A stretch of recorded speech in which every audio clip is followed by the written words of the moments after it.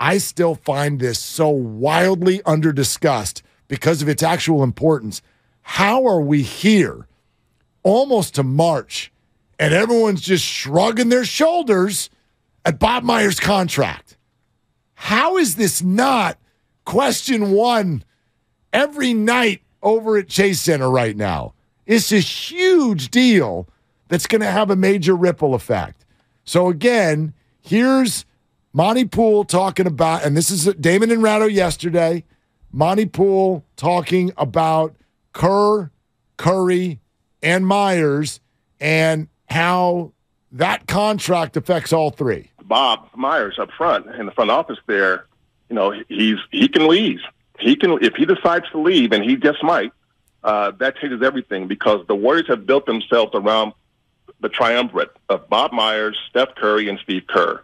If any one of those three guys leaves, the whole dynamic changes. Everything changes. And so, and the other two guys, all three of those guys know that.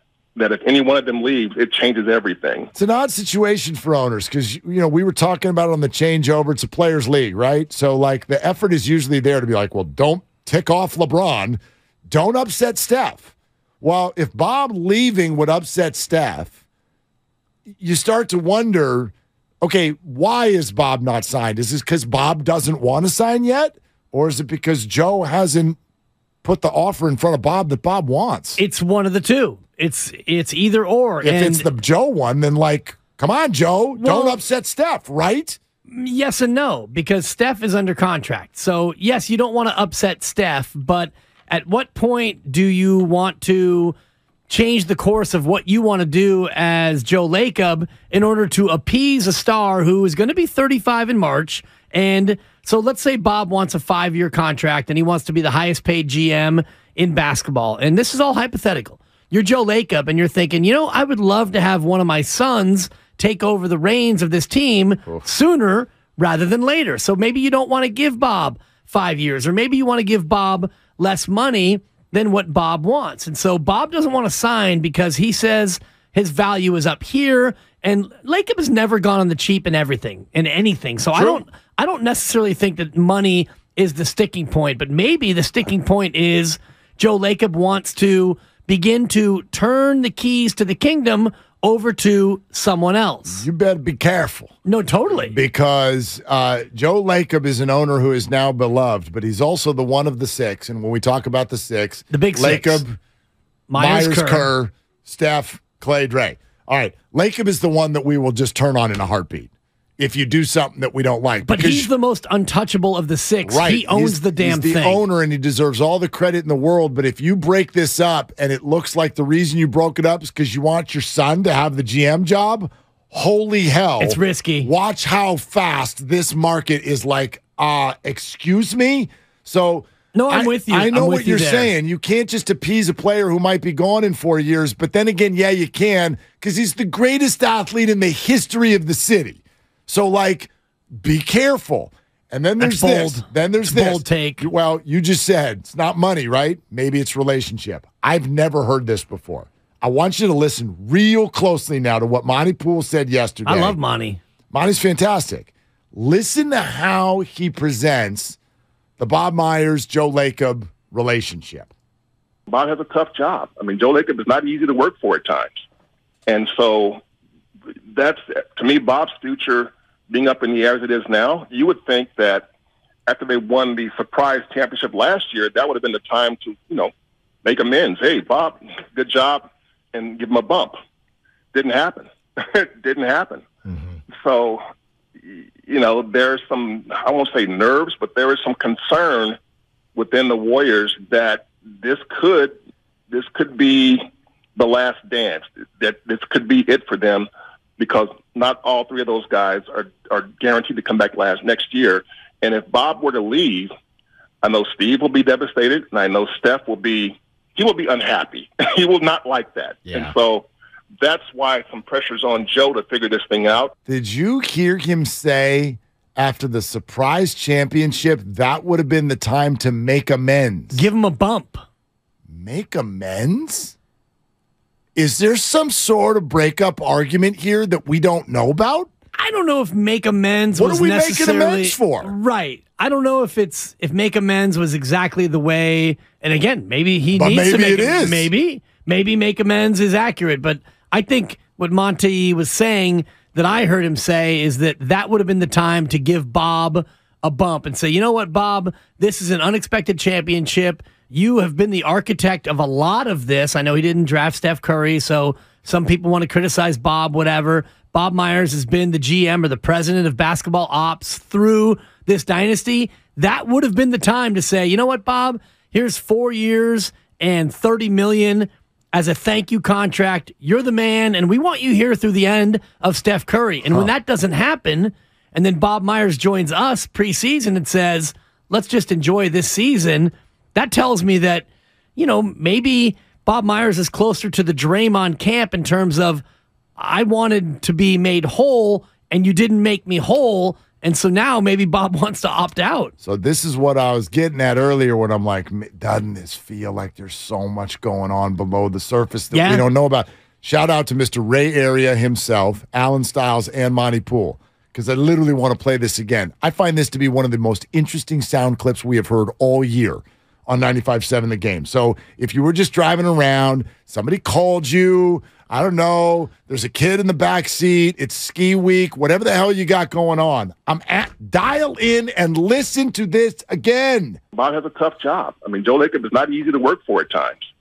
And so that's, to me, Bob's future being up in the air as it is now, you would think that after they won the surprise championship last year, that would have been the time to, you know, make amends. Hey, Bob, good job, and give him a bump. Didn't happen.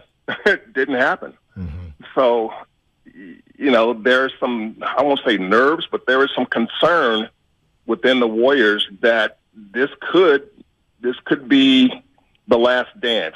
That this could be it for them because not all three of those guys are, are guaranteed to come back last next year. And if Bob were to leave, I know Steve will be devastated, and I know Steph will be he will be unhappy. he will not like that. And so that's why some pressure's on Joe to figure this thing out. I've never heard it put this way. Well, and and I'll, think about the end of that. Steve would be devastated. devastated, And Steve has one more year, and Steph would be disappointed. Uh, unhappy. And I mean, yes, Steph would be disappointed and unhappy. What's Steph going to do? Is Steph going to demand a trade at that Steph- point? Steph's got more power than anybody. He's Steph. Correct. So Bob leaves and Bob sits out a year or whatever. Steve Kerr into his last year announces, you know what? I'm looking to go elsewhere. And Steph is disappointed. What then with your organization? Draymond opts out. Bob decides to take a year off. Steve Kerr makes it clear he's done coaching after his contract runs out. Hey, Steph, you're left holding the bag for your final three years. What then Yeah. of this team? Right. And and so so this goes to something and I thought, you know, fun question that Kyle brought up a couple days ago even like this Warrior dynasty can have a soft landing or it, it can crash into the ground. And that matters to fans. We're all prepared for the end. How could you not be? But is it a soft landing or do people walk out of here flipping birds and putting on other jerseys? Yeah.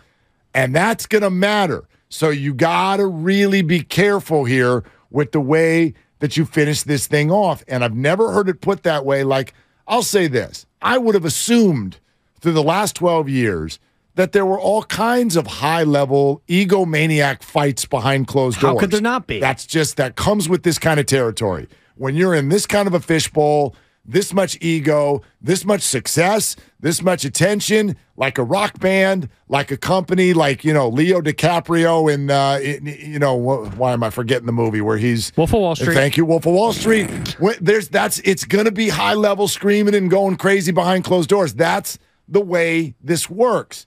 But I've never heard it put that way where A, you need to make amends, or the thought that maybe over the last two years, and I would imagine Wiseman is probably involved in this conversation, that on some level, Joe Lacob is A, hard to work for, Has to be. and and B probably has had some pretty big time disagreements directly with Bob about how to structure and restructure this thing. He called the championship a surprise championship. Which it was. so again, I'm gonna again now we're making assumptions, but it's like, okay, if the Wiseman and down years with injuries experience led to a lot of different opinions about how to rebuild, I bet it did. And then you win a title, that would have been the time, sounds like Monte's saying, for Joe to be like, Bob, my man, Yeah, exactly. you were right. But it didn't. Yeah. And and and so are the egos going to overwhelm this thing on the way out the door? I think that would be really bad for the fan base. I don't know if it's ego as much as it might be burnout because what Monte said in that cut that we've played a couple times, and it's a great cut, and Monte Poole knows more about the Warriors than most people. Joe Lacob is hard to work for. You cannot be that successful as an owner and not be difficult to work for. Joe Lacob is demanding, he's exacting, and he has built a structure that has won. Now, it's not to give Joey Lightyears more credit than he deserves, but he's put together a winning organization. Think about Chris Cohan and where we were. Joe Lacob buys the team for about 400 million and it's now worth 10x. It's now worth 4 billion and probably if he wanted to sell it, he could get 5 billion. He might get 6 billion. This thing has exploded in value since he's owned it and he's done that because he is quote hard to work for. And I think about the Draymond Green quote, Mark, after they won the championship last year. And Draymond famously said, Can Bob Myers get some blanking credit? And I wonder if that isn't telling Good pull. in terms of like how they all feel about Bob Myers. You mentioned soft landing or hard landing. A soft landing for this, the end of this would be no matter what happens this year, Draymond opts in, Klay plays his last year, and they come out next year and say, you know, Draymond and Klay both say, guys, this is going to be our last year together. We're going to give it one more shot.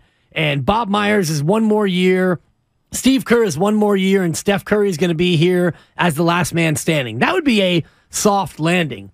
The opposite of a soft landing would be Bob Myers doesn't get re signed and he goes as the GM in Orlando. And I love to pick Orlando. Bob is the president of basketball ops in Orlando. Draymond opts out and signs with the Lakers and goes on his podcast and says, Joe Lacob blanked this whole thing up.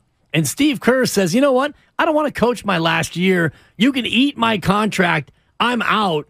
Klay Thompson, I, I, I want to be traded. Steph Curry, oh, I got a knee flare up. I'm out for the year. That would be an awkward hard landing. Well, and what if I asked it to you this way? Like, of the big six, whose reputations are untouchable? Steph Curry, Okay, Steph.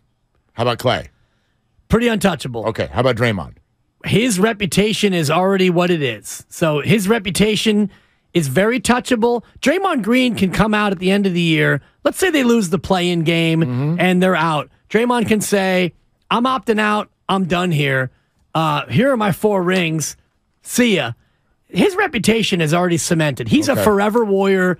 He's a legend, no matter what he does. And he, but he does already. He already has some fans who are kind of against him in, Exactly. in, in ways that n- not toward the other two, and and and his exit, if there is one, um, sure, it, it could rub some people the wrong way. But I, I am also with you. But the people he rubs cemented. the wrong way, he could never turn those people back to Probably. where, oh, Draymond. Probably, You know, you're Well, beloved. You're, one of those people, I know you? I love what he's done in the court, Right, but his his antics, I cannot suffer through his antics. um, or Steve I'm Kerr. conflicted on Draymond Green. Steve Kerr. He's a made man. Right. I don't think there's anything he can do to sully his reputation. He won four championships here. What has the guy won? He's won nine of the last 26 or something. Yeah, yeah. Okay. He's won like one fourth of the last 36 titles. He's been a part of them. Bob Myers. He's he's untouchable to me, and that's some people.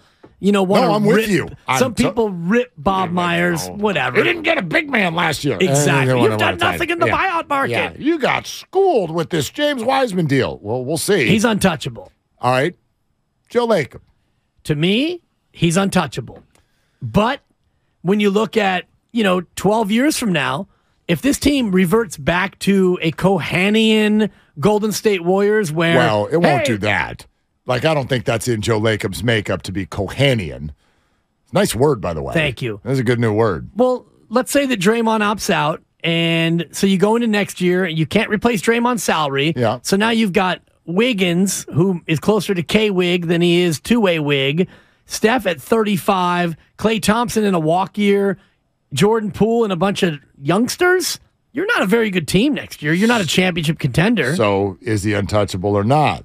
Like I get I what you're saying. so because I look at things from a broader perspective. Right. But So I, I think there's a floor. There's a very high floor with all of them. These six are going to be the names we talk about first when it comes to a dynasty in the greatest warrior era that we've ever known. And and gosh, it rivals what the 49ers of the 80s did and and and the Giants of of, of you know a decade plus ago for sure, uh, if not more.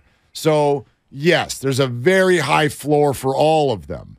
But make no mistake that as you go from the floor up, the first name you're going to get to is Joe Lacob. Make no mistake. And the reason for that is simply because of what his job is. He's the owner, he's a billionaire. It makes him easy to hate. Yeah. That's just the way it is in life. We're never going to feel like Joe Lacob is touchable. You're never going to be like cruising around Safeway and grab an autograph, or you're never, or you're not going to watch him put the ball in. He doesn't give you the memories of uh, of of Steph and a and a, and a wing three in Boston. So if this thing lands wobbly, and and like I said earlier, it feels like you did dirty members of the the other big five and you did them dirty and then you elevate your son to GM and then this thing you're barely a playoff team in Right. 4 years oh oh oh oh they'll turn oh they'll turn of course they will. But uh, people will turn Ray Yes, people, people will, will most turn. definitely turn And it all depends on what happens to the players for whom you have turned your back. If Bob Myers decides, great run, I'm good on being a president of basketball ops and a GM, I'm going to go be a dad. Okay, what could Joe Lacob have done? Not a thing. Steve Kerr, I, I made my bones as a player, as a GM, and as a coach. I'm good. I'm going to go chill in San Diego. I'm out of the association. What can Joel Lacob do? Nothing. Draymond Green goes on to play in Detroit four more years and never makes another playoff appearance. Oh, you might have gotten that one right. Klay Thompson goes to LA and becomes a sixth or seventh man and plays out his career. That's fine. Steph Curry ends his years as a warrior and never goes to the playoffs again. Well, it was a good run. It just depends on what these players and GMs and coaches do elsewhere. If Bob goes somewhere else and immediately becomes a president of basketball ops and says, Yeah, I mean, Joe didn't want to pay me, so I had There to come to Cleveland. See? And Steve Kerr goes and coaches the fill in the blank team and makes them. Re- he goes to San Antonio and replaces Popovich, and Wembanyama becomes his centerpiece, and San Antonio is now the sauce. It depends on what these people do elsewhere as to how we feel about Joe Lacob. It's why I said about, you know, the whole Kyle Shanahan 49ers Trey Lance thing yesterday. It's why I called now a moment of honesty because you get honest a year later, right? When, when Garoppolo's run in the playoffs is done, it's like, okay, here's what was actually going on with his thumb and his shoulder. That you're going to get honest a year from now or two years from now or whatever it is when you look back on the end of the dynasty. And then documentaries get made and all of that, just like the actual last dance.